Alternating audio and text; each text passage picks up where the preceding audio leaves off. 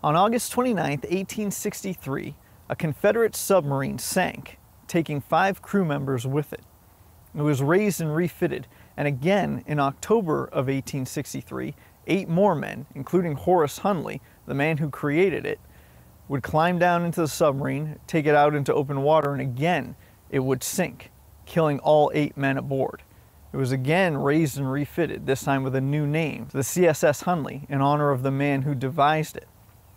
And eight more men, all volunteers, would climb down and sit in the seats where 13 men had previously died. In total darkness, they would crank the propeller by hand in a space smaller than 4 feet by 4 feet. They would do this until the spar torpedo at the front made contact with the USS Housatonic, a Union blockade ship blockading Charleston Harbor. That torpedo would blow off the stern of the Housatonic, and the whole ship would sink within five minutes, taking five Union sailors on board down with it. But at the same time, the CSS Hunley would also disappear. At the outbreak of the Civil War, the North had 42 warships and were contracting to build 200 more.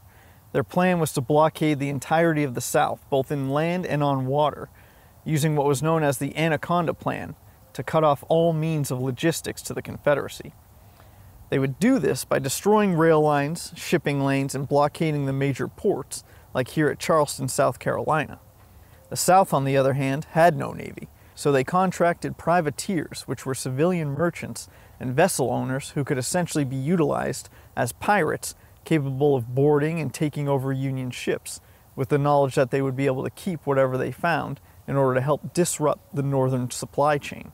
Charleston was besieged by this Anaconda plan, blockaded for several years without any significant advancement in breaking through. The city was getting desperate, and the man in charge, General Beauregard, the first general of the Confederate Army, was getting desperate. Horace Hunley, a rich planter, had been financing and working with engineers in New Orleans in order to create a submersible with a torpedo ram that could potentially help break through Union blockades. His first two iterations were both destroyed. The first scuttled during the Union advancement on New Orleans. Hunley relocated to Mobile, Alabama, and the second iteration sank off the coast of Mobile while being towed across the bay in preparation for an attack on the blockade there, being consumed by the choppy waters.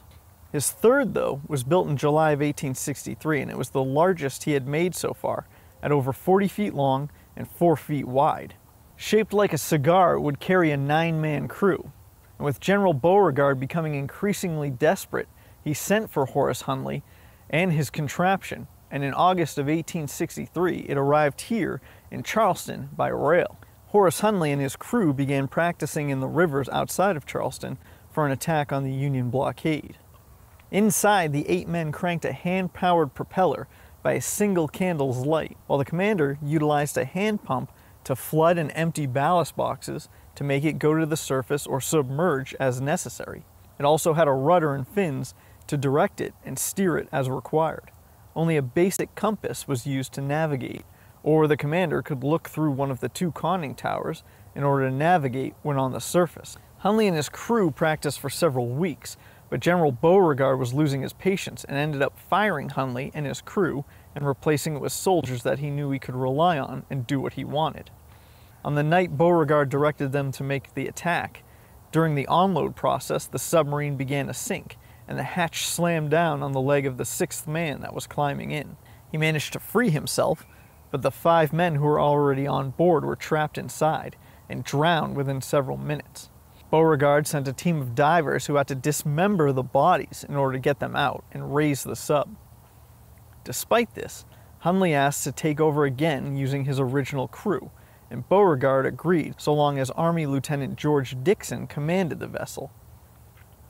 During their continued testing, though, they found multiple problems that could interfere with the mission.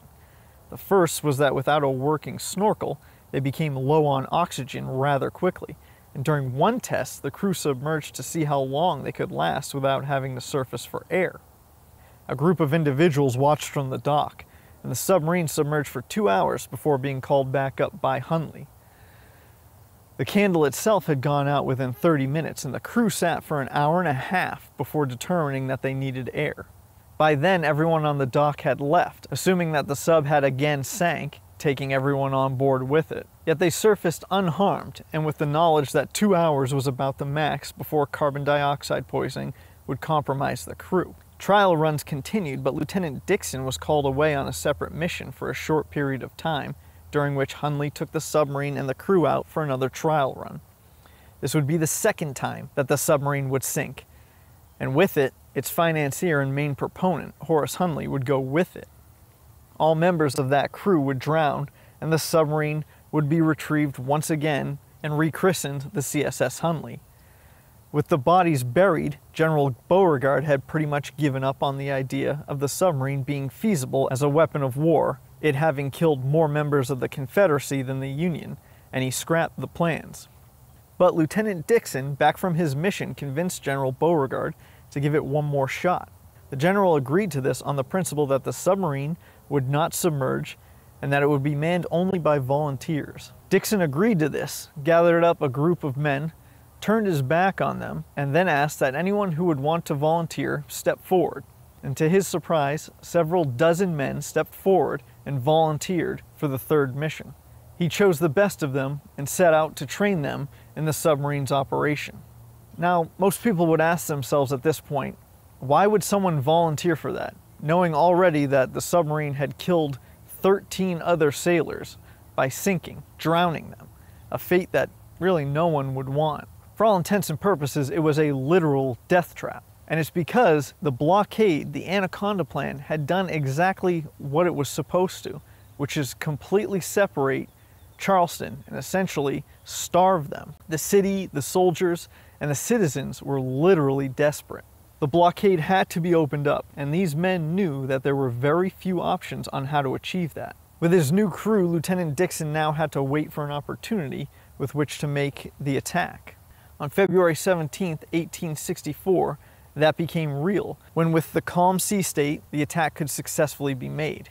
The target was the USS Housatonic, a 1,250 ton warship new to the Union Navy. At dusk, at a small breach inlet, the crew climbed aboard in order to disembark and head in the direction of the Housatonic.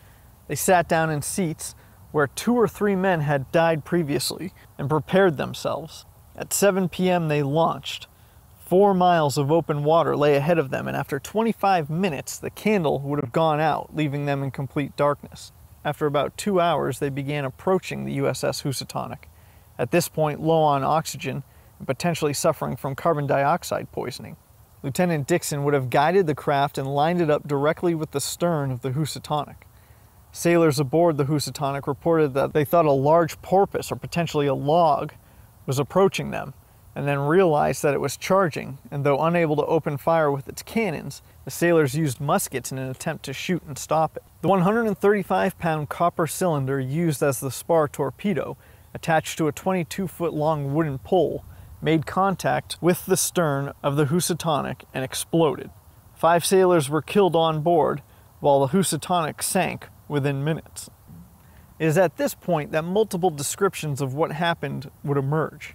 After the explosion, soldiers on watch back on shore noted that a blue light appeared approximately 45 minutes after the sinking of the ship, and this was the signal that was supposed to be given by the Hunley crew after they had completed their mission and were returning but the crew never returned. Hours went by and the submarine never returned to where it departed on Sullivan Island. The sinking of the Housatonic was a considerable achievement for the small submarine and certainly put some fear in the minds of the sailors that were conducting the Union blockade. But at this point in the war, the South was on its last legs, and the blockade continued without much more interference. Eventually, the following year, the war would end with the surrender of the Confederacy, and the mystery of what happened to the Hunley would become legend. Shortly after the war, in 1870, the famous P.T. Barnum offered $100,000 for anyone who could find it, which would be the equivalent of $2.2 million today. But with 100 square miles of potential search area and 1870s technology, this would be borderline impossible. Additionally, hundreds of ships sank in Charleston Harbor, and that's just during the time of the Civil War. As decades went on and as technology became more advanced, various groups and individuals would go out and search for the Hunley. In the 1990s, the searches would increase as wealthy financiers sought to be the first to find it at the bottom of the bay.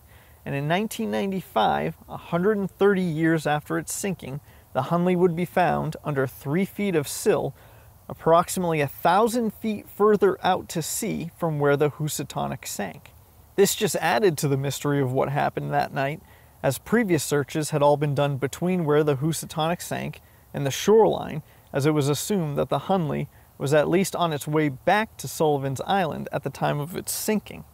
It wouldn't be until about five years later, on August 8, 2000, that the Hunley would be raised out of the water for the first time in 131 years, and then brought to a special tank where it would sit for seven years in order to ensure preservation and stop or reverse any corrosion.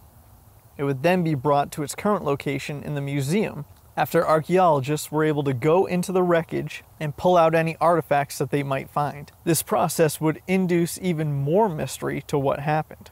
Up until this time, theories for the sinking of the Hunley included the potential that they took on water in some way, whether that was because they took damage from a musket or cannon from the Housatonic, or potentially surfaced and opened their conning towers, which in some way let water in and thus sank the submarine.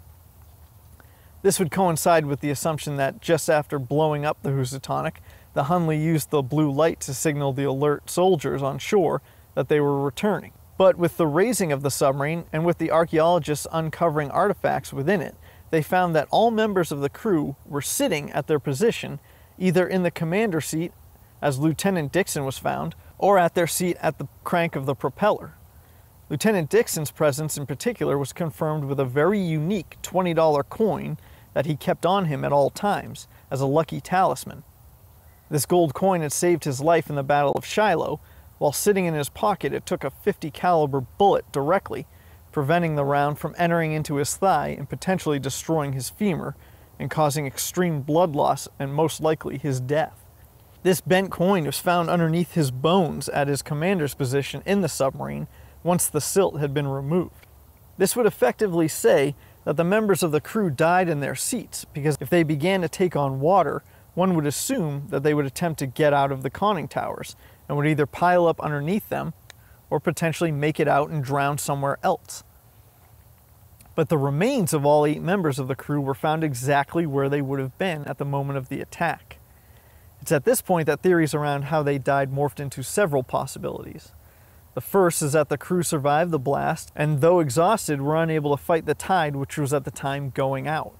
They would have drifted further out to sea, and if they were unable to surface, the possibility that they all died from carbon dioxide poisoning while submerged, sitting in their position, is a real possibility. There's also a chance that they rested the sub at the bottom of the ocean, waiting for a better time to return, but were unable to lift off and climb back to the surface. Another theory is that there was potentially an instantaneous concussion or even death from the blast of the spar torpedo.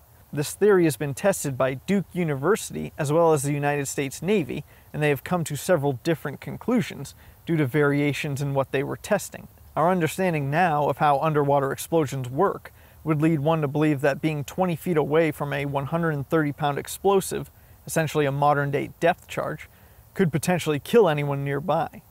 The blast waves are unable to penetrate through the metal, but when they strike organic tissue, like a human, they could cause severe damage internally, specifically to the brain structure. And their location in their seats would lead some to believe that they either died instantaneously or very slowly. This theory counteracts the possibility of the blue light signal being given and observed by both those people on shore as well as members of the USS Housatonic, who also claimed to have seen a blue light after the explosion although their versions of the incident all greatly varied, especially about where the submarine approached the ship from during its attack, as well as what happened afterwards. So those versions of the events may not be perfectly accurate. There's a good chance that we will never truly know what killed the third crew of the Hunley, and further submarine attacks were either unsuccessful or not conducted. It would be 50 years before another submarine made a successful kill, and it was during World War I when a German U-boat sank a British ship. And the CSS Hunley was on its own as the only attack submarine for over 50 years. Thanks for watching. Thanks to my Patreon subscribers for helping me get here. And as always, until next time, get lost.